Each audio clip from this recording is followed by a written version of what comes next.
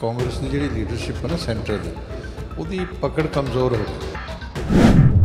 ਅੱਜ ਜੇ ਭਾਰਤੀ ਜਨਤਾ ਪਾਰਟੀ ਸੱਤਾ 'ਚ ਹੈਗੀ ਹੈ ਉਹਦਾ ਇੱਕੋ ਕਾਰਨ ਆ ਕਿ ਭਾਰਤੀ ਜਨਸੰਘ ਦੇ ਲੀਡਰ ਜਿਹੜੇ ਆ 8-800 ਹਜ਼ਾਰ ਹਜ਼ਾਰ ਵੋਟ ਲੈਣ ਦੇ ਲਈ ਹਾਰਨ ਲਈ ਲੜਦੇ ਸੀ।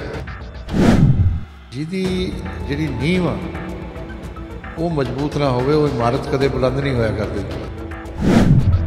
ਕਾਂਗਰਸ ਦੀ ਸਥਾਪਨਾ ਹੀ ਡਾਕਟਰ ਏ ਓ ਹਿਊਮ ਨੇ ਕੀਤੀ ਸੀ। ਉਹ ਕਿ ਅੰਗਰੇਜ਼ ਸੀਗਾ। ਉਹ ਕਿਸ ਲਈ ਕੀਤੀ ਸੀ? ਹਿੰਦੁਸਤਾਨੀਆਂ ਨੂੰ ਗੱਲਾਂ ਬਾਤਾਂ 'ਚ ਉਲਝਾ ਕੇ ਰੱਖਣ ਲਈ। ਪਰ ਇੱਥੇ ਦੇਖਿਆ ਜਾਵੇ ਗੁਜਰਾਤ ਦੇ ਵਿੱਚ ਪੂਰੀ ਬਹੁਮਤ ਹੈ ਪਰ ਭਾਜਪਾ ਹਿਮਾਚਲ ਦੇ ਵਿੱਚ ਪਰਫਾਰਮ ਨਹੀਂ ਕਰ ਪਈ। ਇਸ ਦਾ ਕੀ ਮੁੱਖ ਕਾਰਨ ਹੈ? ਦੇਸ਼ ਜਿਹੜਾ ਦੁਨੀਆ ਦਾ ਸਭ ਤੋਂ ਬੜਾ ਲੋਕਤੰਤਰ ਹੈ ਲੋਕਤੰਤਰ 'ਚ ਲੋਕਾਂ ਦੇ ਫਤਵੇ ਨੂੰ ਸਵੀਕਾਰ ਕਰਨਾ ਚਾਹੀਦਾ ਉਹਦਾ ਸਤਿਕਾਰ ਕਰਨਾ ਚਾਹੀਦਾ ਗੁਜਰਾਤ ਦੇ ਵਿੱਚ ਰਿਕਾਰਡ ਤੋੜ ਜਿੱਤ ਪ੍ਰਾਪਤ ਕਰਨ ਤੋਂ ਬਾਅਦ ਹੁਣ ਭਾਜਪਾ ਜਿਹੜੀ ਹੈ, ਉਹ ਗੁਜਰਾਤ ਦੇ ਵਿੱਚ ਸਰਕਾਰ ਬਣਾਉਣ ਜਾ ਰਹੀ ਹੈ, ਪਰ ਉੱਥੇ ਹੀ ਹਿਮਾਚਲ ਜਦ ਕਾਂਗਰਸ ਦੀ ਜਿੱਤ ਹੁੰਦੀ ਹੈ, ਤਾਂ ਕਾਂਗਰਸ ਵੱਲੋਂ ਆਪਣੇ ਜੇਤੂ ਐਮਐਲਏ ਨੂੰ ਚੰਡੀਗੜ੍ਹ ਬੁਲਾਇਆ ਜਾਂਦਾ ਹੈ। ਤੇ ਕਿਤੇ ਨਾ ਕਿਤੇ ਖਰੀਦੋ ਫਰੋਖਤ ਦੇ ਡਰ ਤੋਂ ਉਹਨਾਂ ਨੂੰ ਇੱਕ ਪਾਸੇ ਰੱਖਿਆ ਜਾਂਦਾ। ਇਸ ਬਾਬਤ ਸਾਡੇ ਨਾਲ ਗੱਲ ਕਰਨ ਲਈ ਹਰਜੀਤ ਸਿੰਘ ਗਰੇਵਾਲ ਭਾਜਪਾ ਦੇ ਆਗੂ ਮੌਜੂਦ ਨੇ। ਗਰੇਵਾਲ ਸਾਹਿਬ, ਕਿੱਦਾਂ ਦੇਖੀਏ ਇੱਕ ਪਾਸੇ ਗੁਜਰਾਤ ਦੇ ਵਿੱਚ ਪੂਰਨ ਬਹੁਮਤ ਜਿਹੜਾ ਮਿਲਦਾ ਨਜ਼ਰ ਆਉਂਦਾ ਹੈ 157 ਸੀਟਾਂ ਭਾਜਪਾ ਦੇ ਖੇਮੇ ਚ ਆ ਜਾਂਦੀਆਂ ਨੇ। ਉੱਥੇ ਹਿਮਾਚਲ ਦੇ ਵਿੱਚ ਕਾਂਗਰਸ ਜਿਹੜੀ ਹੈ ਆਪਣਾ ਮੈਜੋਰਿਟੀ ਬਣਾ ਜਾਂਦੀ ਹੈ। ਪਰ ਜਦ ਕਾਂਗਰਸ ਦੀ ਮੈਜੋਰਿਟੀ ਬਣਦੀ ਹੈ ਤਾਂ ਉਹ ਆਪਣੇ ਜਿੱਤੇ ਹੋਏ ਐਮਐਲਏ ਚੰਡੀਗੜ੍ਹ ਬੁਲਾਉਂਦੀ ਹੈ ਤੇ ਕਿਹਾ ਜਾਂਦਾ ਕਿ ਡਰ ਹੈ ਕਿ ਖਰੀਦੋ ਫਰੋਖਤ ਦਾ। ਨਹੀਂ, ਇਹਦੇ 'ਚ ਇੱਕ ਪ੍ਰੋਬਲਮ ਇਹ ਹੈ ਕਿ ਕਾਂਗਰਸ ਦੀ ਜਿਹੜੀ ਲੀਡਰਸ਼ਿਪ ਹੈ ਨਾ ਸੈਂਟਰ ਦੀ, ਉਹਦੀ ਪਕੜ ਕਮਜ਼ੋਰ ਹੋ ਗਈ। ਜਦੋਂ ਇਹ ਹੋ ਜਾਂਦਾ ਔਰ ਪਾਰਟੀ 'ਚ ਅਨੁਸ਼ਾਸਨ ਤੇ ਤਿਆਗ ਦੀ, ਤਿਆਗ ਜਿਹੜਾ ਨਾ ਉਹ ਉੱਪਰਲੇ ਲੀਡਰਾਂ ਚਾਹੀਦਾ ਹੁੰਦਾ। ਅੱਜ ਜੇ ਭਾਰਤੀ ਜਨਤਾ ਪਾਰਟੀ ਸੱਤਾ 'ਚ ਹੈਗੀ ਆ ਉਹਦਾ ਇੱਕੋ ਕਾਰਨ ਆ ਕਿ ਭਾਰਤੀ ਜਨਸੰਘ ਦੇ ਲੀਡਰ ਜਿਹੜੇ ਆ 8-800 ਹਜ਼ਾਰ ਹਜ਼ਾਰ ਵੋਟ ਲੈਣ ਦੇ ਲਈ ਹਾਰਨ ਲਈ ਲੜਦੇ ਸੀ। ਔਰ ਤਿਆਗ ਤਪੱਸਿਆ ਦੀ ਉਹਨਾਂ ਦੀ ਕਹਾਣੀ ਸੀ। ਔਰ ਸਾਡੇ ਤਾਂ ਡਾਕਟਰ ਸ਼ਾਮਾ ਪ੍ਰਸਾਦ ਮੁਖਰਜੀ ਨੇ ਦੇਸ਼ ਦੇ ਇੱਕ ਇੱਕ ਵਿਧਾਨ ਇੱਕ ਕਾਨੂੰਨ ਉਹਦੇ ਲਈ ਉਹਨਾਂ ਨੇ ਸ਼ਹਾਦਤ ਦਿੱਤੀ। ਤੇ ਜਿਹਦੀ ਜਿਹੜੀ ਨੀਂਹ ਆ, ਉਹ ਮਜ਼ਬੂਤ ਨਾ ਹੋਵੇ, ਉਹ ਇਮਾਰਤ ਕਦੇ ਬੁਲੰਦ ਨਹੀਂ ਹੋਇਆ ਕਰਦੀ। ਕਾਂਗਰਸ ਦੀ ਸਥਾਪਨਾ ਹੀ ਡਾਕਟਰ ਏ ਓ ਹਿਊਮ ਨੇ ਕੀਤੀ ਸੀ। ਉਹ ਕਿ ਅੰਗਰੇਜ਼ ਸੀਗਾ। ਉਹ ਕਿਸ ਲਈ ਕੀਤੀ ਸੀ? ਹਿੰਦੁਸਤਾਨੀਆਂ ਨੂੰ ਗੱਲਾਂ ਬਾਤਾਂ 'ਚ ਉਲਝਾ ਕੇ ਰੱਖਣ ਲਈ। ਤੇ ਜਦੋਂ ਨੀਂਹ ਮਜ਼ਬੂਤ ਨਹੀਂ ਹੈ ਤਾਂ ਉਹਦੇ ਉਸ ਪਾਰਟੀ ਦਾ 100 ਸਾਲ ਬਾਅਦ ਇਹੀ ਬੁਰਾ ਹਾਲ ਹੋ ਰਿਹਾ 100 ਸਾਲ ਤੋਂ ਵੀ ਜ਼ਿਆਦਾ ਸਮਾਂ ਹੋ ਗਿਆ। ਤੇ ਅੱਜ ਆ ਕੇ ਜਿਹੜੀ ਲੀਡਰਸ਼ਿਪ ਆ ਉਹ ਵੀ ਇਦਾਂ ਦੀ ਹੈ ਕਿ ਉਹਨਾਂ ਦੇ ਜਿਹੜੀ ਲੀਡਰਸ਼ਿਪ ਦੇ ਕੋਲ ਉਸ ਤਰ੍ਹਾਂ ਦੀ ਮਜ਼ਬੂਤੀ ਨਹੀਂ ਹੈ ਕਿ ਉਹਨਾਂ ਨੂੰ ਇਕਜੁੱਟ ਰੱਖ ਸਕਣ। ਇਸ ਲਈ ਉਹ ਡਰ ਰਹੇ ਨੇ ਇਸ ਲਈ ਉਹ ਘਬਰਾ ਰਹੇ ਨੇ ਹੋਰ ਕੋਈ ਗੱਲ ਨਹੀਂ ਹੈ। ਪਰ ਇੱਥੇ ਦੇਖਿਆ ਜਾਵੇ ਗੁਜਰਾਤ ਦੇ ਵਿੱਚ ਪੂਰੀ ਬਹੁਮਤ ਹੈ ਪਰ ਭਾਜਪਾ ਹਿਮਾਚਲ ਦੇ ਵਿੱਚ ਪਰਫਾਰਮ ਨਹੀਂ ਕਰ ਪਈ। ਇਸ ਦਾ ਕੀ ਮੁੱਖ ਕਾਰਨ ਮੰਨਦੇ ਹੋ? ਨਹੀਂ ਉੱਥੇ ਤਾਂ ਹਮੇਸ਼ਾ ਹੀ ਐਂਟੀ ਇਨਕੰਬੈਂਸੀ ਵੀ ਹੁੰਦਾ ਤੇ ਹਰ ਵਾਰ ਇੱਕ ਵਾਰ ਉਹਦੀ ਸਰਕਾਰ ਆਉਂਦੀ ਹੈ ਇੱਕ ਵਾਰ ਉਹਦੀ ਆਉਂਦੀ ਹੈ ਉਹ ਲੋਕਾਂ ਦਾ ਫਤਵਾ ਉਸ ਨੂੰ ਸਵੀਕਾਰ ਕਰਨਾ ਚਾਹੀਦਾ। ਇਹ ਦੇਸ਼ ਜਿਹੜਾ ਦੁਨੀਆ ਦਾ ਸਭ ਤੋਂ ਬੜਾ ਲੋਕਤੰਤਰ ਹੈ ਲੋਕਤੰਤਰ 'ਚ ਲੋਕਾਂ ਦੇ ਫਤਵੇ ਨੂੰ ਸਵੀਕਾਰ ਕਰਨਾ ਚਾਹੀਦਾ। ਉਹਦਾ ਸਤਿਕਾਰ ਕਰਨਾ ਚਾਹੀਦਾ।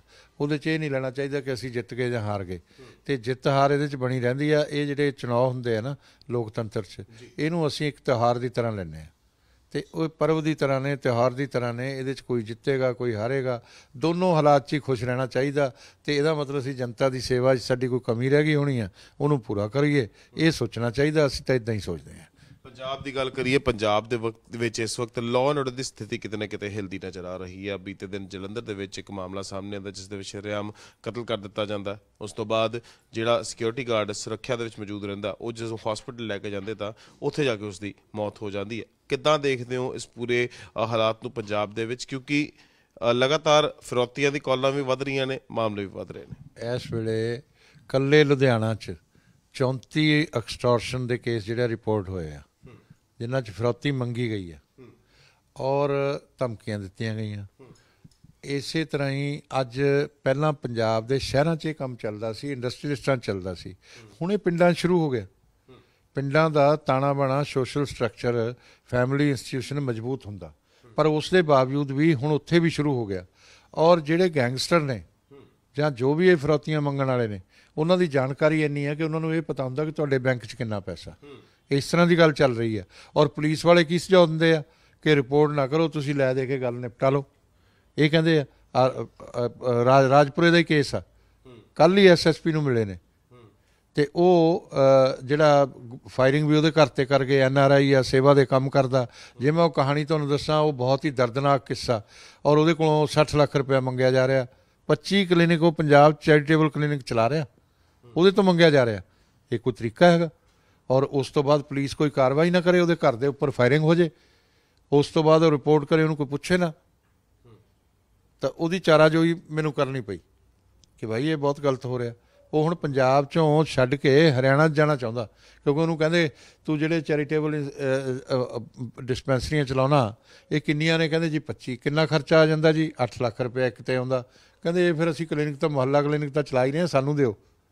ਆਮ ਆਦਮੀ ਆ ਕਹਿੰਦੀ ਹੈ। ਜਿਹੜੀ ਪਾਰਟੀ ਦੀ ਆ ਸੋਚ ਹੋਵੇ, ਜਦੋਂ ਬਾੜ ਹੀ ਖੇਤ ਨੂੰ ਖਾਣ ਲੱਗ ਜੇ, ਤਾਂ ਪੰਜਾਬ ਦਾ ਕੀ ਹੋਣਾ? ਇਹਨਾਂ ਦੀ ਸੋਚ ਗਲਤ ਹੈ। ਕੇਜਰੀਵਾਲ ਦੀ ਸੋਚ ਗਲਤ ਹੈ। ਮਛਲੀ ਉੱਪਰੋਂ ਖਰਾਬ ਹੁੰਦੀ ਹੈ, ਮੂੰਹ ਵਾਲੀ ਸਾਈਡ ਤੋਂ ਨੀਚੇ ਪੂਛ ਤੋਂ ਕਦੇ ਨਹੀਂ ਹੁੰਦੀ। ਇਹ ਉੱਪਰੋਂ ਖਰਾਬੀ ਹੈ। ਇਹ ਪਹਿਲਾਂ ਕੇਜਰੀਵਾਲ ਦੀ ਮਾਨਸਿਕਤਾ ਠੀਕ ਕਰੋ। ਲਿ- ਲਿਖ ਲਿਖ ਕੇ ਡੈਮੋਕ੍ਰੇਸੀ 'ਚ ਕਦੇ ਇਹ ਹੁੰਦਾ। ਐਡਾ ਕੌਨਫੀਡੈਂਸ ਨਾਲ ਝੂਠ ਬੋਲਦਾ ਐਡਾ ਵੱਡਾ ਝੂਠਾ।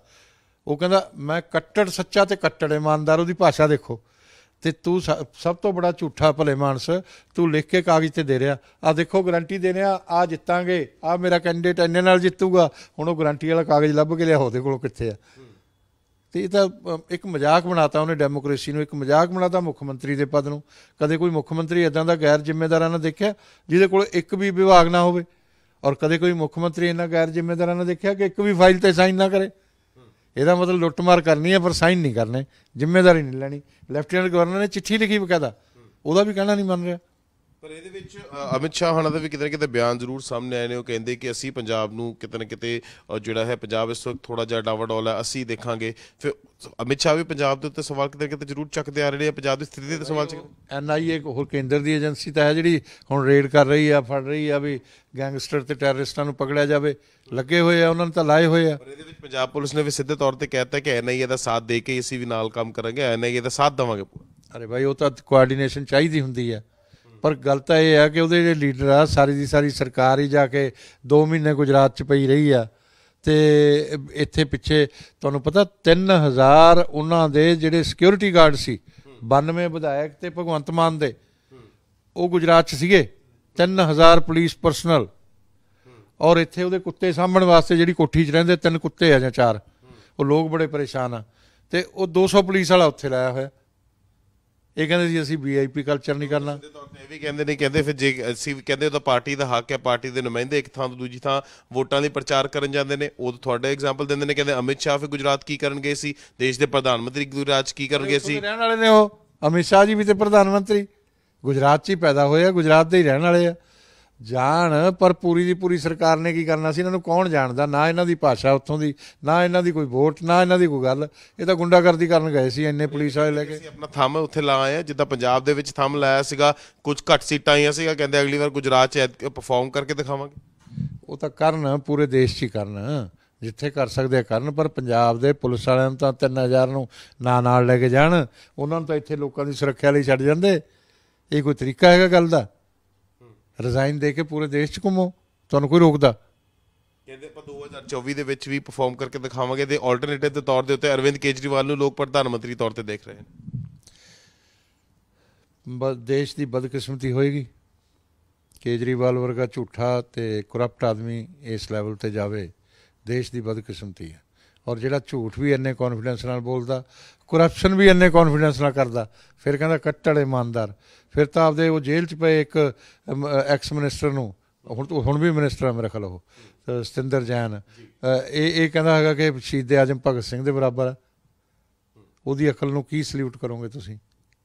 ਉਹਨੂੰ ਪ੍ਰਮਾਤਮਾ ਸਦਬੁੱਧੀ ਦੇਵੇ ਔਰ ਉਹਦਾ ਦਿਮਾਗ ਜਿਹੜਾ ਦਰੁਸਤ ਰੱਖੇ ਇਹੀ ਬਹੁਤ ਬੜੀ ਗੱਲ ਹੈ ਠੀਕ ਹੈ ਬਹੁਤ ਬਹੁਤ ਧੰਨਵਾਦ ਸੋ ਇਸ ਨੂੰ ਸਾਡੇ ਨਾਲ ਹਰਜੀਤ ਸਿੰਘ ਗਰੇਵਾਲ, ਜੋ ਕਿ ਭਾਜਪਾ ਦੇ ਆਗੂ ਨੇ, ਸਿੱਧੇ ਤੌਰ ਦੇ ਉੱਤੇ ਜਿਹੜਾ ਗੁਜਰਾਤ 'ਚ ਜਿੱਤ ਹੋਈ ਹੈ, ਉਸ ਦੇ ਬਾਅਦ ਬੋਲਦੇ ਨਜ਼ਰ ਆਏ। ਹਿਮਾਚਲ 'ਚ ਕਿਉਂ ਹਾਰ ਹੋਈ? ਇਸ ਦਾ ਸਿੱਧੇ ਤੌਰ ਤੇ ਜਵਾਬ ਦਿੰਦੇ ਆਏ, ਕਹਿੰਦੇ ਕਿ ਜੋ ਗਲਤੀਆਂ ਸੀਗੀਆਂ, ਉਸ ਦੇ ਉੱਤੇ ਵਿਚਾਰ ਕੀਤਾ ਜਾਊਗਾ ਤੇ ਨਾਲ ਹੀ ਨਾਲ ਜਿਸ ਤਰੀਕੇ ਨਾਲ ਪੰਜਾਬ ਦੀ ਲਾਅ ਆਰਡਰ ਸਥਿਤੀ ਬਣੀ ਹੋਈ ਹੈ ਉਸ ਨੂੰ ਲੈ ਕੇ ਸਿੱਧੇ ਤੌਰ ਦੇ ਉੱਤੇ ਸਰਕਾਰ ਦੇ ਉੱਤੇ ਸਵਾਲ ਚੱਕਦੇ ਹੋਏ ਨਜ਼ਰ ਆਏ ਨੇ। ਕੈਮਰਾ ਪਰਸਨ ਡਿੰਪੀ ਡੋਗਰਾ ਦੇ ਨਾਲ Sahil Narula living India news Chandigarh.